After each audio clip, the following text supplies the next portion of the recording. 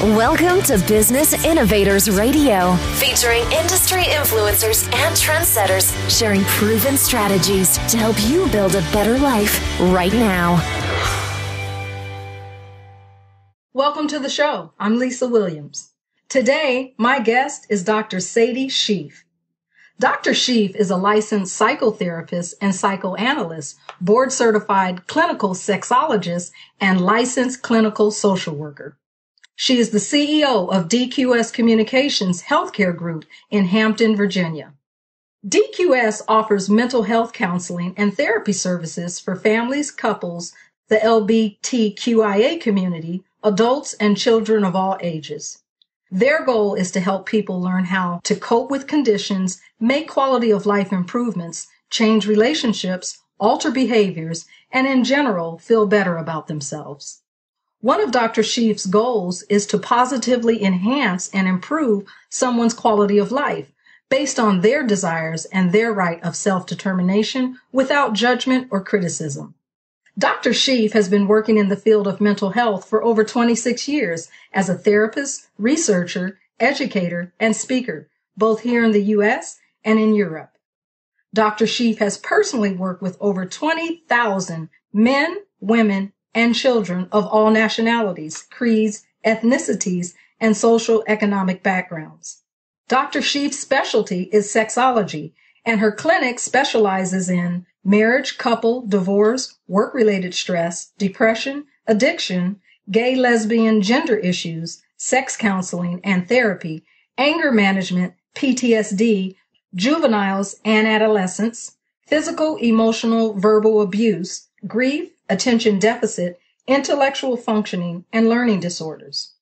Dr. Sheafe stands firmly on the belief that the results of your therapy session should be judged by you to be desirable and beneficial. Please welcome to the show, Dr. Sadie Sheafe. I'm doing well today, doing well. Welcome. So glad to have you on the show. Well, let's get started. Today, we're going to talk about the growing number of Black women in business, how we've evolved, and what it'll take to help African American women in business run successful businesses. Let's get started. Black women have always had an entrepreneurial spirit. From our great grandmothers who cleaned houses for a living and sold fish dinners at churches to the many African American women who rose to the tops of their industries, including Michelle Obama, the first African American First Lady of the United States, Sheila C. Johnson, founder of BET, becoming the first African American woman billionaire. Oprah Winfrey, having the number one daytime talk show in America. Serena Williams, number one in women's singles tennis. Janice Bryant, owner of the largest minority woman-owned employment agency in the United States. And Ursula Burns, the first African American woman CEO of a Fortune 500 company. And of course, the list goes on and on. In fact, according to the 2015 State of Women-Owned Business Report, the number of women-owned businesses grew by 74% between 1997 and 2015. The report also stated that 33% of women-owned firms are owned by minority women, and black females are amongst the fastest growing group of entrepreneurs in the U.S. It's wonderful to know that African American women entrepreneurs are the fastest growing segment of entrepreneurs in the U.S. What a great statistic. So it's important that we don't let this momentum die. Now, more than ever, African American women entrepreneurs need resources available to help them not just be in business, but grow in business.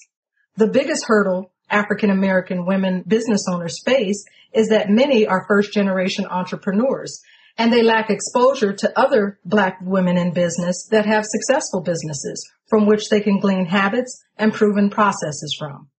Let's look at an example of just how important having a role model accessible to you can be. Here is what Jessica Alba, actress and CEO of The Honest Company said about having someone that you can call on. As far as mentors go, countless. I was not shy about making phone calls to many people. I've been fortunate enough to know people like Tory Burch and Diane von Furstenberg, and they, you know, got lots of emails and phone calls from me along the way with tears in my eyes, saying, I don't know if this is possible. Why is everyone telling me no? What do I do? What does it even mean to get venture capital? What is venture capital? What's a board? Like I just didn't know all these business terms.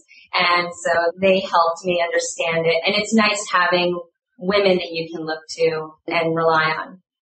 Incidentally, her husband, Cash Warren, a Yale graduate, producer, and tech investor, introduced Jessica to his childhood friend, Brian Lee, an entrepreneur who co-founded LegalZoom. And the women Jessica reached out to, Tory Burch, who is a New York fashion designer, and Diane von Furstenberg, who is a billion dollar fashion designer. Unfortunately, most African American women don't have the same access and connections that Jessica Alba was blessed with. Black female entrepreneurs need a supportive network of African American women business owners that we can learn from. It's time to talk, share, and provide resources and roadmaps to Black women in business. We need successful mentors to inspire African American women on their journey in business. I have lined up a variety of successful, prominent, and leading African American women in business across many industries to share their paths and secrets to their success. They will discuss their journey not only as women in business, but more importantly, how they grew successful businesses in spite of the unique challenges faced by African American women business owners. Forgive my cloudy voice, but the show must go on. So let's get into the show. So I'm going to jump right in. Dr. Sheafe, how do you feel about being a part of this historical time for African American women in business? I feel honored uh, to be a part of, you know, this piece um, that's so significant to us as African American women um, about being one of those folks that are in business. Uh, it's an honor. It's like, you know, it's good to stand on the ladder. Um, and that's the way I see us all as standing on a ladder. And it makes it so that my daughter and other African American women may be able to stand on my shoulders. And I'm glad and happy to be a part of this building uh, of what is needed so greatly amongst ourselves confidence, support, mentoring to do the same thing, to be successful in business and see our dreams actualized. Yes, definitely. So a good story isn't a good story until we can understand where you started. How'd you get started in business? Well, what I did was I was working as a social worker with uh, the federal government um, for several years. I, you know, will say like most, I had a vision, I had a dream. Uh, I was working as a social worker, working uh, with substance abuse, doing um, uh, treatment, and um, I had an epiphany, and it was when I was pregnant with my youngest child, uh, and I was in graduate school, and um, and it was more or less. It started from a dream I'd had, and what it was was I had a dream, uh, a vision uh, of riding down a highway, and there was this big billboard, and the big billboard had the huge letters DQS. Now, that was just prior to me having my daughter. I had already decided that her name was going to be Sade. But interestingly enough, in this dream, DQS Communications is what the sign said. I had always had ambition, um, I think, in a way to start a business. My sister, uh, Merlin Jones, who's also my hero, uh, me standing on her shoulders, had a business called Inner Power Forces Consultant as a social worker, helping people in the community. And she was also a first lady. Uh, her husband was a pastor, Reverend John D. Jones, and Merlin Jones. And I had the opportunity to go see her in her practice in Syracuse, New York, a bit with some things that she was doing prior to this. And kind of always kind of kept it in the back of my mind looking at how wonderful it was to see my older sister with us growing up in the South, uh, two black girls from the South, uh, being determined to do something, to have a business, to go get the education, to do all of that. So what happened was, uh, when I had this dream, this epiphany, I woke up the next day and I couldn't get rid of it. I couldn't get rid of the idea, the thought. It was on my mind, and it would not let me rest. And thank God for that. because that's when I knew for sure my daughter's name was going to be Sade, and I also knew for sure the name of my business and what it was going to be. Because D is a name is my son's my oldest son first name Dennis, Q is my second son's name, and S is Sade. That's when I knew hmm. for me it was God given. So it was already determined. And at that point in time, when I had her already knowing it was a vision, I worked diligently outlining things and thinking about how I was going to actualize it, and I made a decision to go ahead and get the name of my business and get my EIN number. And it was she was a, a little bit over five by the time I had did everything and pulled that together. And that's exactly what I did. And I began contracting myself as an individual, working with businesses under DQS Communications uh, LLC, doing business as Dr. Sadie Sheafe. Or not, it wasn't Dr. Sadie Sheafe then. It was doing business as Sadie Sheafe. Okay, excellent. Yes. So, Dr. Sheafe, who do you work with currently, and how do you help them? Uh, who I work with, I work with. Well, I work in several places. I work with veterans um, in my full time job, and then uh, in my practice, I work with veterans. I work with active duty service members. I work with the community at large. I work with the LGBTQIA community. I work with the elderly. I work with adults. I work with children. And so I work with women. I work with men. Uh, so I work, I guess, just the community at large is who I work with. And there, what we do is we provide psychotherapy or um, psychotherapy and, and sometimes with me I do some psychoanalysis, but uh, psychotherapy with the folks that come through the doors in need of help who are struggling with any issue that they are facing in life. And I'm also um, I also work with students. I have student interns that I uh, have uh, that do internships, and these are uh, usually African Americans who are looking to come into the field of therapy. So they get to do mm-hmm. their internships with me there at DQS Communications. And so I work also with other licensed clinical social workers, other doctors and professors, as well as other disciplines um, there in my practice.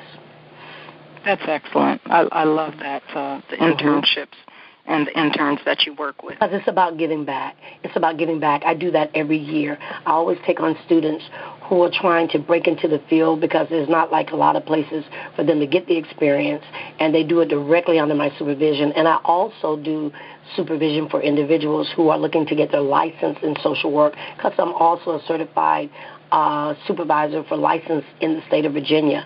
And so I also do that in my practice. I help those that are out in the field who are trying to get licensed to practice, and I also help those who are coming into the field get the education and experience that they need on the professional side. And on the helping side, I help the community at large. Okay. And so, as an African American woman in business, let's talk about what your path has been like as you've navigated your entrepreneurship. So, what can you share with other uh, black women in business about starting, staying, and sticking it through to reach a level of success in their business?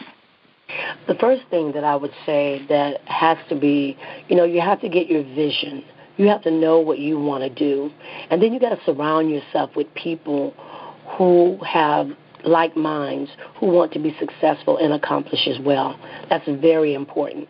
Uh, I surrounded myself with people who were doers and I stayed and I kept myself in the limelight. I kept myself in a way where I was always having to learn, always having to get to know people. Uh, I volunteered for many things. Uh, I spoke every chance I got. Uh, I went to any information that could give me I went to any kind of conference or, or lecture or workshop that could give me information on what I wanted to do. I talked to people that were also in business. Uh, I talked to other African American women that were doing things like owning salons and different things like that. Uh, wanted to know what kind of things that they pulled together. I didn't just talk to African American women. I also talked to other women of other races and other colors, asking them about what did they do to um, to get it going. But one of the things I found a lot was, as an African American woman, there was not a whole lot out there. Uh, mm-hmm. Uh, not a lot of examples. That's where my sister came in, who was such a godsend to have a sister who had already broke into this arena of doing some practice stuff. She was doing it in the church, and she was doing it also in the community. And it also helped, greatly helped me that she was a city manager. So that helped as well because I also uh, took on the business avenue in my jobs. I was I was a supervisor. I took on as much responsibility as I could. I I took additional courses, and so you have to make yourself a open sponge to learn and get everything that you can anywhere you can so you can begin to build up an idea of what it is that you know that you want and what you're trying to achieve. And so for me, I wanted to not just have a business or have it for a. I wanted to be successful in business because I did my research and that's another thing that I'll tell anybody. You have to read. You have to stay abreast of what's going on. So I read books on leadership. I read books on management. I read books on business. And I, t- and I looked at the pitfalls of business and what worked for some and what did not work for others. I looked at all of those things. I talked to people in real estate that had businesses. I talked to people that worked with Avon that had a business. I mean, I just got as much as I could. I even talked to other black business owners who were absolutely working businesses, but they were doing different kinds of businesses. But it's still, once you get that, once you understand that, you can work with it. And to also know that I'm always uh, on the job. Mm-hmm. mm-hmm. Excellent. So, what was hard for you um, along the way? I mean, honestly, think of one of the most challenging times in your business, and what what was hard, and what did you do to overcome it? What was a challenge uh, for me was, you know, having uh, enough resources, uh, mm-hmm. because, you know, the idea that you'd have a lump sum of money somewhere, or that you'd be able to uh, you know, step out in your business in that way, that was indeed a challenge for me. So what I did was I saved my money over a period of years. Uh, it was almost about um, about five to six years. I saved money and I pinched back, and then I was very thrifty in the things that I did. And I knew that when I opened, I had to just open with myself. So I was working long, hard hours myself. I did not have the other staff. It, it was my husband. My husband, my greatest support, was marvelous. I didn't have to pay him and me. We had to get the job done. And so then I worked long hours, and one of the biggest challenges was the resources. That continues to be a problem. You mm-hmm. know, um, in business is having the resources and building that because it wasn't like I had a parent that could give me uh, had started a business that could give me so much money. You know, my parents were, um, you know, uh, folks that had raised their families and had did those kinds of things, but no large sum of money to give to me. So I had to creatively think about how to make that work. So I worked for myself, and I saved that money, and I worked three jobs. I contracted myself, I worked for myself, and I worked my normal job. And then my husband was my assistant and my help. And I did that for almost 45 years. On an mm-hmm. average, it was nothing for me to work 75 or uh, almost uh, 80 hours a week. I did that. And you had your children at that time? I had my children. Uh, and at the time when I began in my business, I was uh, I was a single parent. I wasn't married to my husband uh, at that point in time. He was a friend. So then uh, what happened was that as when we became married, uh, the good thing that he had was he had his background in business, and that was helpful uh, and it was good to know I could rely on him, and he was supported. Um, my children's father was also helpful, even as I was a single parent. He was always helpful. He uh, would keep them for me so that I could do the long hours, even sure. before I married my husband I'm with today. So even as I was divorced from my first husband, he was always supportive, always helpful with my children. That was the greatest help that I could have had. And yet I had to work the hours and I had to make it happen because at the same time trying to be a good mom, uh, I was also in school still uh, finishing up my doctorate. So there was a lot of things going on, but I, I kept uh, I kept my faith. I had support from my family, and I did that. But those were the challenges because when you're doing it, it's not like I could turn to someone else and say, you know, I'm tired. You know, um, uh, I don't want to do this anymore. You have to be that determined. You can. You have to be determined to stick through it, through the thick and the thin. And so I sometimes had to go to family members to get some money. Sometimes when I was short on different things, mm-hmm. that I had to care of, but they were there, thank God, as they could be. And then, you know, uh, working the three jobs. I worked it as long as I could, so it was quite intense. That's a great share, and thank you for your candor. Yes. Um, we have other black women that have accomplished great successes, like those mentioned earlier. Other ones such as Taraji P. Henson, Kamala Harris, and Shonda Rhimes, and countless others. Can you share a nugget to help women that are just starting a business? Yes. Um, one of the most important things that I would tell you is when you got a vision, write it down. That's very serious. Write it down. Uh, and I not only wrote it down, I drew it. Uh, I always had, um, I drew myself uh, affirmations. And, and as a therapist, see, I was always a therapist, so doing that was important. I drew, I wrote it down. I changed my plan 20,000 times. It doesn't matter. change sure. plan. And then I thought about, and see, I thought for me as an African American woman, I thought about what success meant to me. It wasn't about me being successful. It's helping my family, helping the seeds of my seeds, helping my extended family, helping friends, being really involved with helping those that are trying to help themselves. So when I thought about myself in business, I thought about myself as being a resource to others. And that's the way I've always thought of myself. Money is only as good as it can help other people. That's my feelings about money or success. I want to be that place where my daughter stands on my shoulders, my son stand on my shoulders, my family stand on my shoulders. That's what it is. I want to be that solid place. So for me, the nugget I would share with anyone, you got the vision, write it down. Don't and take and, and think about what you want to do. Take yourself seriously. And when you're beginning to talk about it, you know, initially share it with people that are supportive of you. Uh, it's not necessarily necessary to tell everybody. And sometimes at the beginning, you don't necessarily need critics. Deal with people that can actually be positive for you, tell you encouraging things about yourself. And then when you're looking down the road, I didn't look at my business in a way of thinking, oh, I'm starting this business and get along the lines of problems. I was thinking about the future. I was thinking about my great grandchildren my children's children. And that's the way I think of everything. I never think in the moment. It's about how I see it and where I want it to go. I think this is a way I give myself to my children, their children's children, and my family. And that's to be a resource. And so for me, I see myself as being in many places at one time when you can make that happen. This business was that important to me that I'd be successful, and it's that important because I can help 20 people at one time if I can be a resource of some sort, whether it's through my knowledge, my information, my education, and not just to my family and extended family, but to the community at large and even young black women I don't even know. Where I can share a pearl of wisdom, I do. Where I can give insight, I do. And then I give guidance. I, when I have students, I don't just talk to them, I mentor them. So when they're done with me, it isn't like, okay, you got your degree, I taught you this, and I'm done. No, I let them know you can call on me forever. As long as I'm alive and above ground, I will always be willing to give some piece, some piece of information. And I just, and a mentor, a real mentor is with you for life. May not be able to be there all the time, mm-hmm.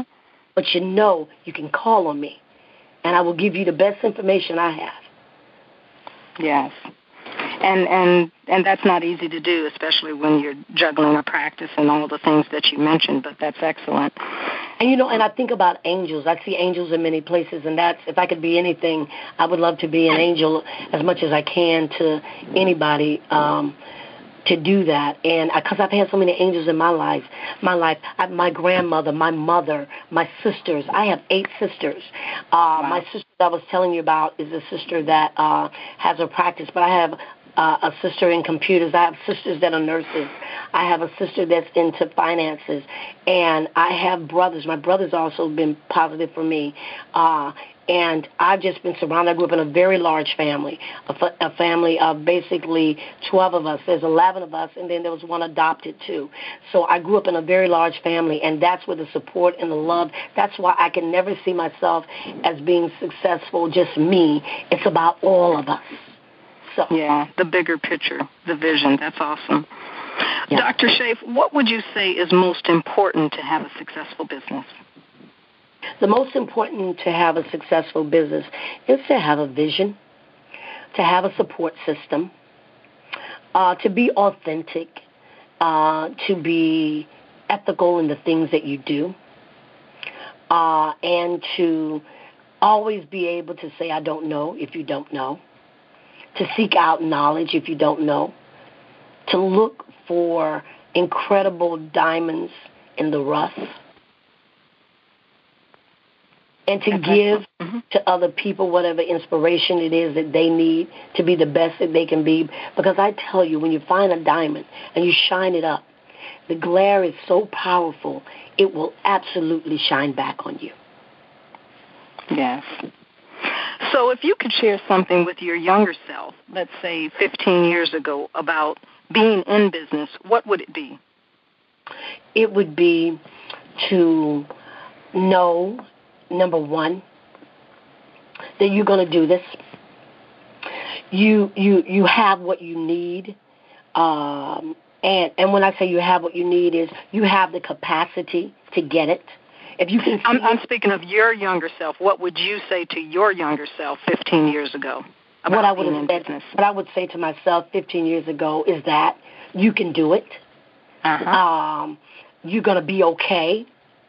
Um, I would say to my younger self, um, you know, keep going the path that you're going. Uh, it's okay to uh, reach out, uh, and it's okay to speak up and speak out, um, and you're going to be fine. That's yeah. what I would say my younger self. Because when you're younger and you're doing things, you have so much intrepidation and so many fears. And I would yeah. say to myself, just keep going for it. You're going to be okay. I would validate me. That's what I would do. You're doing the right thing. You're going to be okay. Keep trying. Keep going. Keep doing. Write it down. Yes, I know you're tired. It's okay. It's, it's, it's gonna it's gonna get better. Yes, those things. Yes. As I explained in the introduction, one of the greatest challenges African American women in business face is the lack of successful black women role models in their communities, in our communities. So let's talk now specifically about the unique challenges African American women business owners face.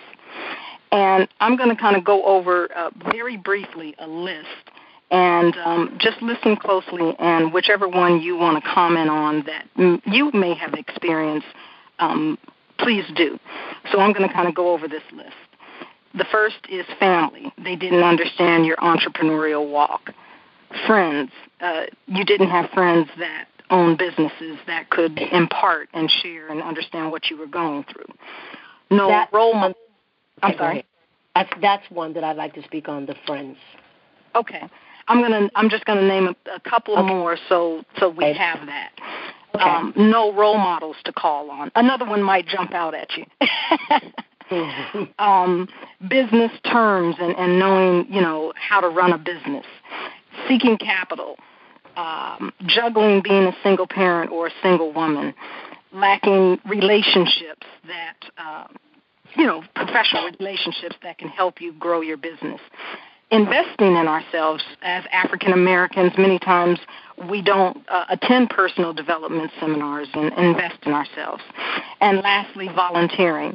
Unfortunately, um, we are not taught typically in our families to volunteer outside of the church setting. So, um, did any of them, other than the first one, jump out, or would you like to speak um, would you yes. like to speak on? Um, I'd like to speak on um, three of them actually. I want to okay. speak first concerning friends. Uh, now, the reality of friends is this: I don't have today. Uh, well, I have a couple. I have maybe one or two friends that are seeking to do business.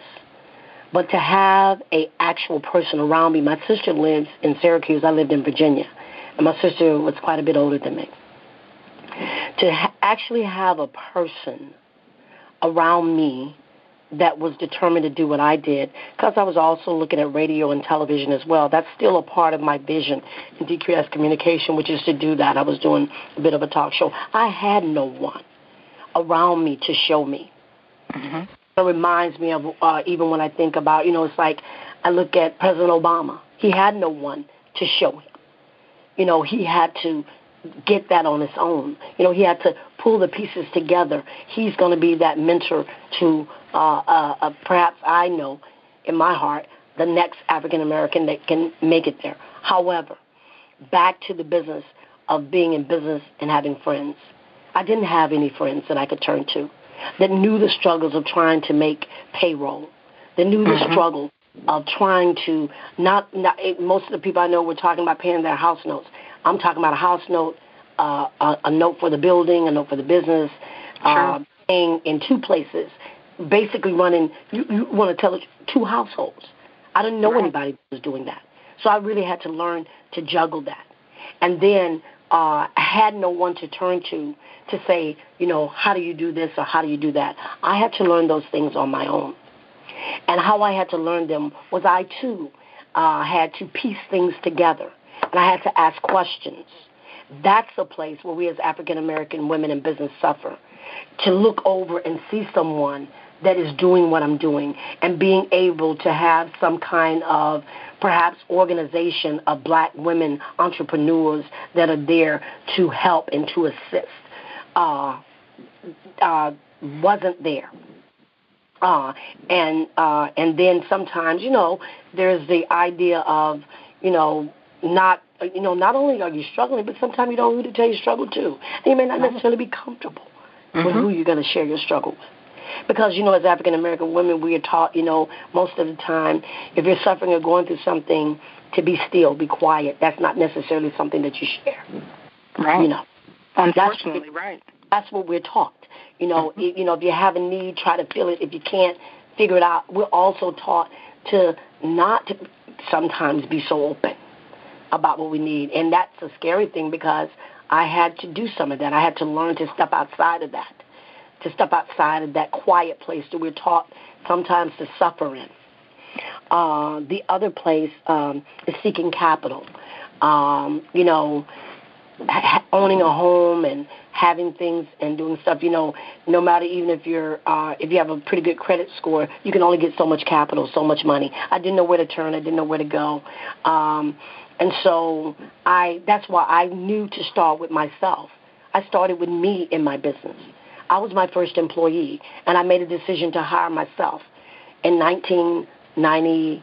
Actually, I made it official in 96, but I hired myself in 1995. I hired myself. And before I even turned it into that, I went out contracted. Then that's when I that's when I let DQS become full bloom. So I had to start with me because I had no one to go to to tell me, you know, how to get started up. There were small business organizations and those things, but to meet my need and what I was up against, I didn't have that. Those are real those are uh-huh. real shares. I, I appreciate you um, sharing in, in several categories because those are real challenges that business owners in general face and African American women. You know, some of the things that you spoke about are truly some of those things that we are challenged with. It is, and I will tell you, for example, I mean, sometimes you have to make a decision about what to pay and what not yeah. to pay.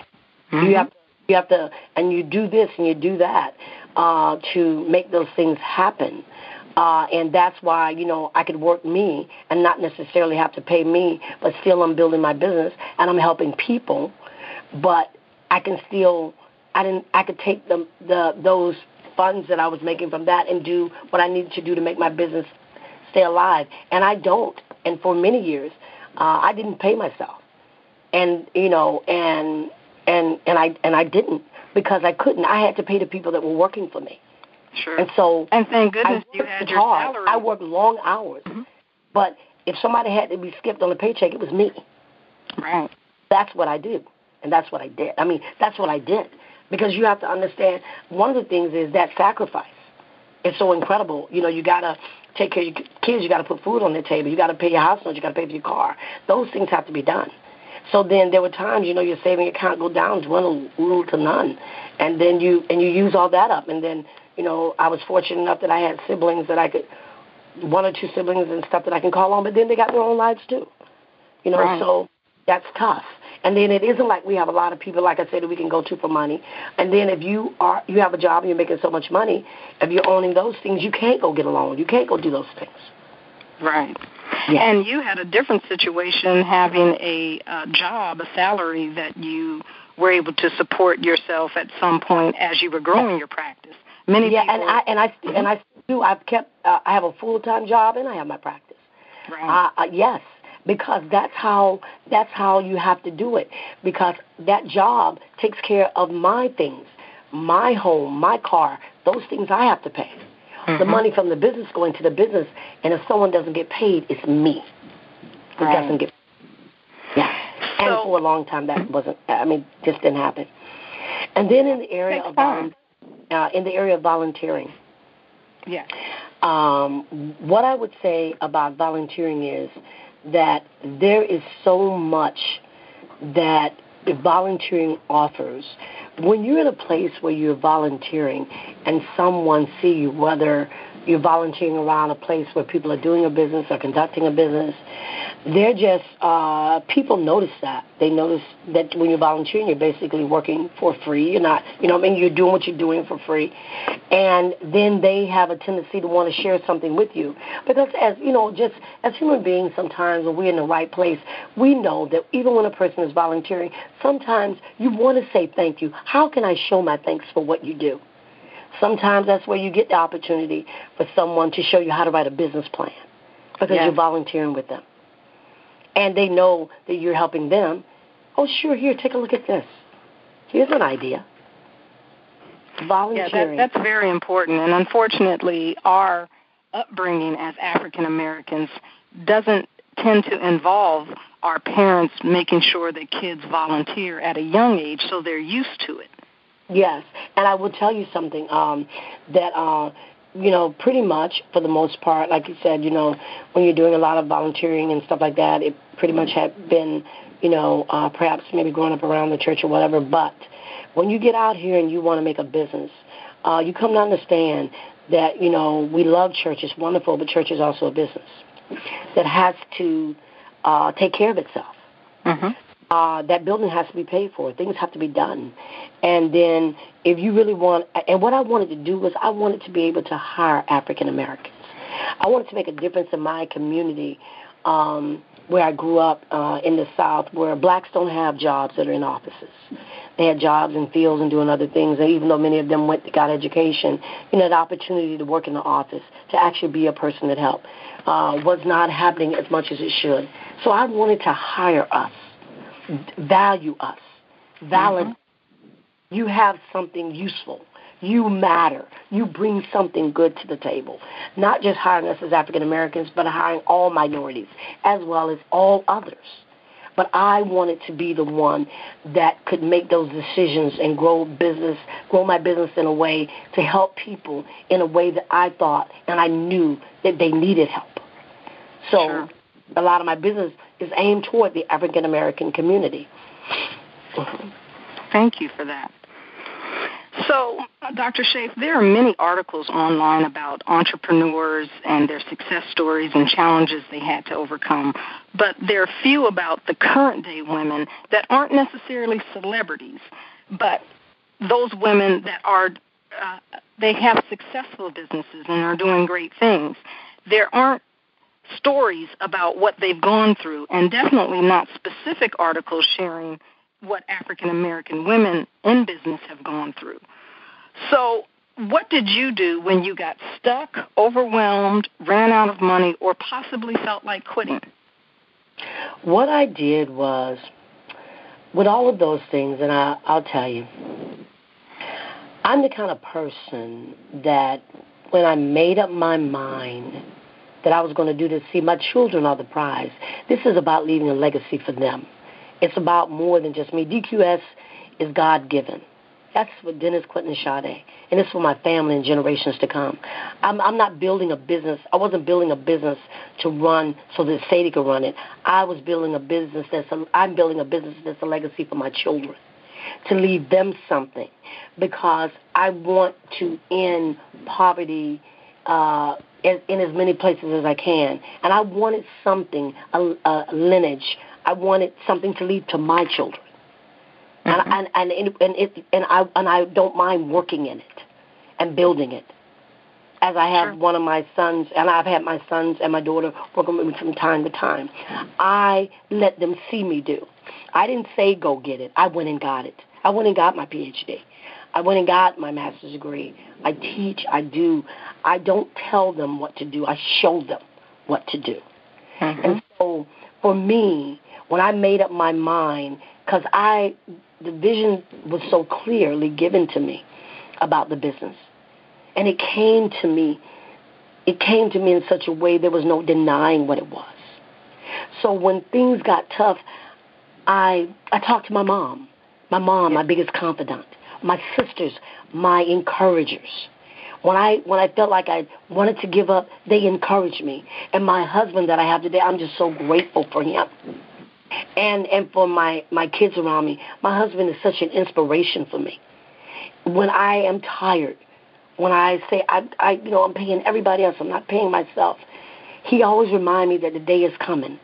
And so when I get down, I have him.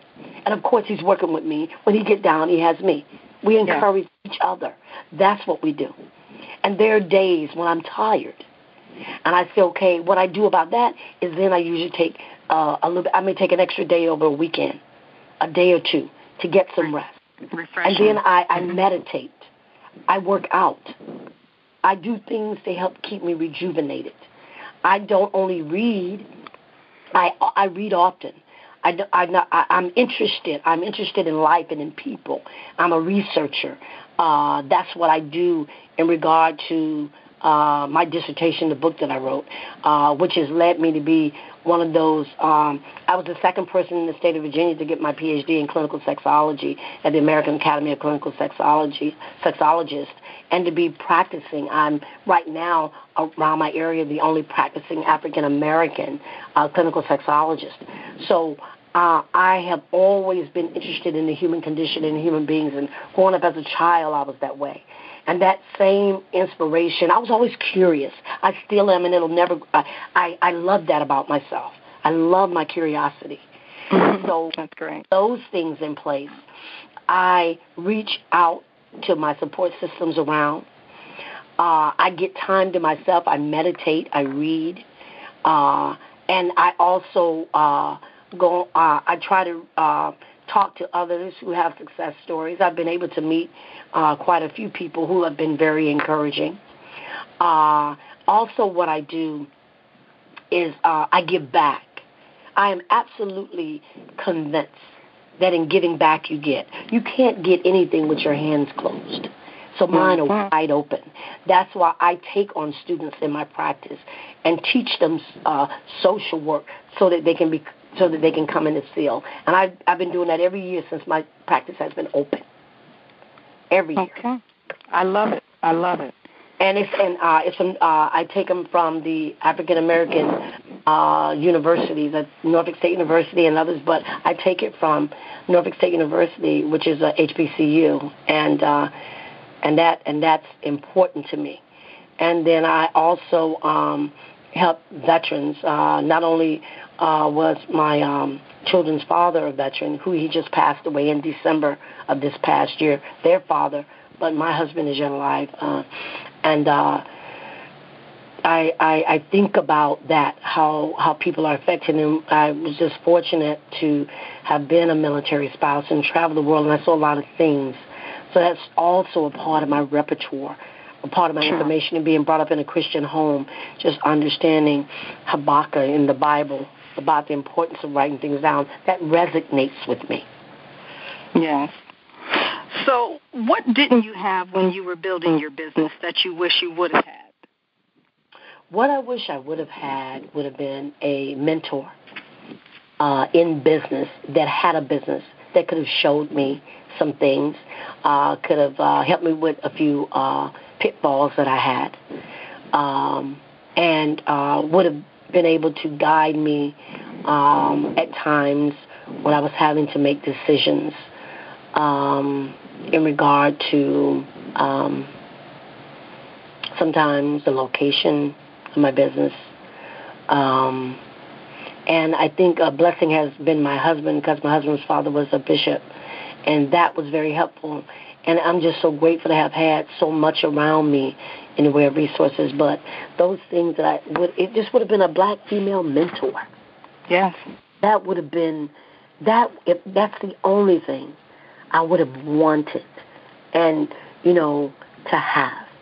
And you know, I think I don't care who you are as a black female in business, you still want a mentor, even if you have one. Mm-hmm. Um, uh, and I, uh, a mentor, a real mentor, someone that's interested in me uh, and watching me succeed, encouraging me, helping me troubleshoot, helping me with my vision, helping me clarify things, telling me those places where I could grow, giving me guidance about how to deal with things financially, spiritually, emotionally, in all of those arenas uh, helping me, you know, take, uh, you know, do self care. That's important, you know. And in this stressful world we live in today, when you think about uh, medical problems and things like that, that can be an issue. Self care is most important. That's why meditation, time out, taking care of me is so important because in order for my business to go on, I've got to be alive because there's so many things that I know that I want to do, and I'm determined to do those things, God willing. And I want to leave things in a very good way for my children to yeah, take on. It's so and important. Prayerfully, I'll be around as they take on because I am absolutely going to be mentoring them like I am now, God willing. Um, yeah. Want to be there so I can leave it at a good point. Let them move in and mentor them through. Uh, mentor them through as long as I can. Sure. And I'm going to have to edit this part out, but um, I, um, we're going to kind of have to move through the rest of these questions okay. because I want to make sure that I get your input on, okay. on these. And I'm sorry. I'll, I'll, no, no. What you have said has been so valuable. And uh, unfortunately, because we do have a limited amount of time, I, I okay. just want to make sure I get your heart and soul on the rest of these. So, okay. Okay. Okay. So we'll edit that part out. so let's have a little fun now. Okay. Our, our black businessmen are showing us out. And that's not going to work. no, it's not. That's right. Tyler Perry has shared his homeless to success story. Eric Thomas, the motivational hip hop preacher, has the homeless to PhD story. So, us ladies, we've got to get our stories out and documented. So, African American women in business have some inspiration when they're feeling low, when they're searching online, you know, to learn what someone else did to get past a challenging situation. So we need our rags to riches stories. Yes, we so do. My que- yeah. So my question to you, and I'll help you with it. What's your hero story or rags to riches story? Let's kind of, you know, take a moment or two and, and create it. What okay. would you say? My rags to riches story. A little girl growing up in the South, in the deep South, in a place called Bainbridge, Georgia, where there were where I did not see any black business owners except men. Uh, and I saw women in churches uh, growing up.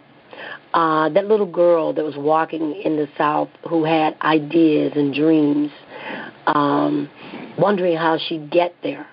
Um, yes, encouraged by my parents, but had not seen the big world, had not seen a large city, but knew I wanted more um, and growing up uh, the way that I did, uh, um, kind of kind of sheltered a bit, and then you know stepping into the a big place where I met people from when you go to you know just in high school getting to know people, but in college getting to know people from many different walks of life, hearing about blacks um, in communities and other places that was doing great things, sat and dreamed listening to the radio.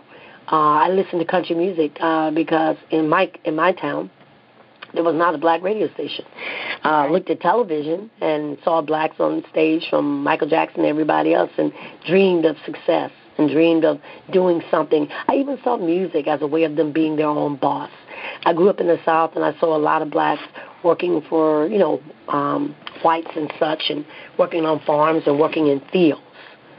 I had not seen them uh, in charge. Uh, I was fortunate enough, though, as I got older, to recognize I had uncles that were farmers, Right. And, but we got we got to kind of pull the story together, real condensed. Okay. You know what I mean? So, rag, you know, um, uh, Tyler Perry, homeless to. Uh, I would say uh, the the the young black girl growing up in the South, uh, no idea of the big world and what was out there, mm-hmm. and growing up, um, growing up. Um, I would say I grew up poor, but I didn't know I was poor. Mm-hmm. Uh, and uh, was just determined. My family taught us that education was everything. And so believing in that that I was given, which was education is the key to freedom from everything, um, I was just determined to follow it. That's all. If I could jump in, I would say maybe something like from education to legacy. Yes, ma'am. That's what Ab- you've been speaking about. Yes, ma'am. From education to legacy, because in go. my community, my aunt was the first African American to get her master's degree in library science, and the first black library and the first black black librarian in my community. Okay. All right. Well, there's your there's your hero story. Yes. So now I'm going to switch directions for a moment. Um, today there is a lot of talk about collaboration. Can you, you know, kind of give me your thoughts very briefly on collaboration instead of competition? Uh, yes, collaboration is, uh, if there's anything I'd say about that's the way to go. When you collaborate, we both can be successful. Uh, not so much competition, but reach across in those areas where I need help. You can give it. If I, if you have something that I may need, it would be wonderful to have it. And if I have something you may need, it would be wonderful to share it. And if we can come together and collaborate on something, for example, um, there was a group that I had talked about getting a grant. I had the therapy and those things that they needed, and then mm-hmm. they had other things, transportation pieces and stuff like that. Uh, and it was a black male, interestingly enough. Um, but coming together with me having what which it took as a part of the way of completing the grant, and him having what it took, coming together and sharing the wealth sharing the wealth through collaboration is the really the way to success. Because in my business, that's another area of success that I otherwise would not have had. Because we have to uh, understand as African Americans, we may not have all the resources, but look around. You have others that are African American that may have the resource that you don't have. That's and right. if you can put that together with yours, you can create. You can take pieces and make a whole. Right. And yeah. and one of the things I share with business owners, especially women that I work with, is how you can succeed without having to compete. And you can do that by implementing the power of positioning, leveraging the media, and all of that collectively to build your brand. So you don't have to have your eyes on your competition. That's right. And in being out there in a way where you're inclusive so that others will know that you're there. Uh, um, that is one thing that I've definitely done as a clinical sexologist, you know, put myself out there. Um, internet, uh, television, and such. And then whenever there are others in the community, like as a specialist and uh, as an expert in that, I have other blacks, uh, other black females that own businesses, and they don't do the specialty. They don't do the sex therapy or uh, treat the sexual issues and stuff. They are clinicians, though. I get those referrals. And then when I get referrals that I think that they may benefit from, I send those referrals to them. And so I don't have to keep my eyes up trying to see what somebody else is doing. I'm putting myself out there in such a way you know what my what my strengths are, you know what we have, and then we know what you have. And when we can come together and join together, we do. That makes that makes for a great collaborative working relationship as opposed to being competitive. Uh, I agree. Time when we don't necessarily need to be. I totally agree. And a couple of qu- closing questions. How do you think we can move forward and turn that growing number, that statistic I shared earlier, of African American women in business into successful million, multi million, and billion dollar businesses? The How do you think? What do you think? Yeah the thing that I think that we can do is do more of this, do more interviewing, um, um, tell our stories, talk about uh, our our our beginnings and where we are today. Because you know what, Rome wasn't made in a day, and we didn't get here through jumping through, uh, you know, through anything easy. It has been a test.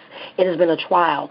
Sharing our experience, our strength, and our hope in such a way that those that are thinking about it may be willing to take that leap of hope, that leap of faith, that can make the difference. And uh, being that uh, being that a resource in our own communities uh, that we know that we need, because who knows our communities uh, oftentimes better than we do. Uh, right. And and and uh, and where the holes are and the gaps are, knowing where the gaps are, knowing where the holes are, um, uh, and so then, for me, it's that, um, and and being open to talk about uh, my pains and my trials, but also being willing to share about the successes in such a way that if you can see it, you can do it. You know, the thing that makes anybody great is not for me to tell you how great I am, but for me to tell you how great you're going to be how great you're going to be because of the things that we do. And we need to do this so that we can tell other young black females how great they're going to be. Just just learning what we learn, standing on our shoulders, kind of in a way, uh, almost like biblical in a way. Greater healing will will you do, and mm-hmm. you pass that on to the ones coming. That's what you can do. Is tell them how great they're going to be, and keep and, And Dr. Uh, Sheafe, what impact would you like to make as an African American woman in business over the next 10 years? The impact that I would like to make is I would like to uh, be the, the one of the greatest employer of African Americans uh, uh, in my community. I'd like to expand my business, not just staying local, but to expand to other cities, other states, other areas, and then also bringing in, again, not just here in this community, but in any community, because I grew up in the rural South. I want to, I'm going back there to start up my business there. I'm going to start a satellite there. I want to grow my business there and make the dream come alive because the black people in that community saw me when I was a little girl. They know where I came from to go back there and allow them to see this gives another girl hope, a dream, a vision, to know that I grew up in this small town where you grew up. And then to be expansive and to share that and to let them know that it can happen for them as it happened for me. And my vision over the next 10 years is to grow my business in such a way that we're not confined by brick and mortar, that we become national, uh, even international, because – with automation, we're no longer limited. And then to take make use of that automation to do uh, telemental health, uh, especially when we know at a time the world so needs uh, work with mental health, to not be limited by my desk or my office, but to know that I can be on a computer, be speaking to you, talking to you, and get that training, get that education to know how to do this, how to reach out to people beyond the borders of my state, to other states, to the nation. Yeah. That's where I see me going, and to have no limitation, Bec- and then to multiply myself as many times as I can, and that's what automation will allow me to do. Whether that's internet television, radio, I'll be doing radio, television, those things that will multiply me so that there are many streams of income that comes in that help me grow my business and then in that way I, my business can be the great success I want it to be as as others look on to become entrepreneurs and business owners themselves. That's a great vision. And can you share your five success tips with us? Yes. I would say be determined. Stick to your vision. Stick to your dreams. Write it down. Make it real. Talk to people that are supportive of it. If you can get if you can have family around and supportive of it, great. But if you're going to have friends around and you're going to talk about your dreams, make sure that they're going to positively stroke those things and encourage those things. Be authentic and ethical. Do the things that you know are right. Be committed. Be determined to learn. Be determined to grow. Be determined to get knowledge where you can. And seek it out, search it out, and not be limited. Automation, take advantage of it. Be honest uh, it's okay to say I don't know everything. You don't have to know everything. I didn't know everything. Most people don't know everything, and it's okay to say I made a mistake.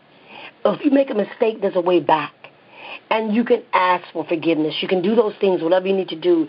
Should anything ever happen in the way of a relationship, you can extend a hand. You can reach across, mentor, and be willing to be mentored too. Never be afraid to ask a question. Always be curious. Ask questions. And lastly, personal growth. With personal growth, take in those things that are going to allow you to open your mind, open your vision, do things to do to take care of self. Self-care kinds of things are important. Meditate, read. Take some time off. Take yourself uh, not so seriously all the time. Enjoy, laugh, have a little fun. Laughter is therapy for the soul. Yes. And just real quickly, what you just went over, can you just tell me one, two, three, four, five, what they were? Oh, be committed. Was number one. Uh huh. Be authentic and ethical. Number two. Be honest. Number three. Be inclusive. Number four. And number ask, five? Ask questions. Wonderful. And can you recommend two books that every woman should read? I'm going to recommend that they read my book, my dissertation, The Sexual Practices of Black Males and Societal Myths About Them, a contemporary, a historical overview and a contemporary analysis. Because what it did, uh, what it does, it opens up the idea of us as African Americans uh, recognizing uh, that we really do matter. Uh, that in order to help us, you got to understand us, and for us not to make assumptions because I'm black, that I know the whole black experience. Read my book. I think it will open incredible doors because it talks about the myths and the stereotypes about black males, uh, from the way um, they have been imprisoned and shamed and guilted into uh, sometimes being put in position where they are sexless, like Uncle Tom's. They can only be seen in ways that they really are not men. Um, and then the other and, book, mm-hmm, I'm sorry. Go ahead. No, go ahead. okay. Uh, and the historical overview is a historical overview of us as African Americans, and the contemporary analysis is a survey that I did on the internet to black males that answered questions about what they desire, what they like, to put in. Dr. Sheafe, I got to jump in. I'm so sorry. I need okay. to know your second book because we have to wrap it up. I have my, another interview. My second book is Women Who Love Too Much. Excellent. Mm-hmm. I thank you so much for taking oh, the time. Thank you, Lisa.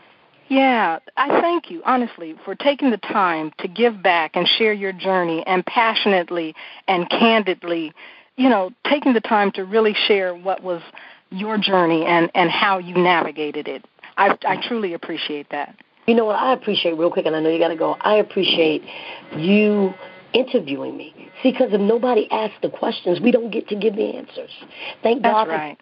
That ask the questions, and that's what we've got to do too. We got to do what you do: ask questions, and then be willing to give answers. I'm grateful for sisters like you that are helping sisters like me that may not be famous yet. The word is yet, but Yeah. I know that we will be. Well, thank you for sharing. And where can our listeners get more information about you? Uh, they can go to uh, Dr. Sadie Sheafe. Uh, no, they can go to VAtherapist uh, dot com. Uh, they can also Google me, Dr. Sadie Sheafe, uh, on Google. And uh, VA Therapist is the one that will lead them to all of my sites, and drsadieshafe.com. Uh, and as well as I've um, been in, um, I did a, um, a article for Essence magazine, the one that Jada Pinkett was on. I've also did a, a health journal, an article on um, being widowed and single and coming back out and dating again.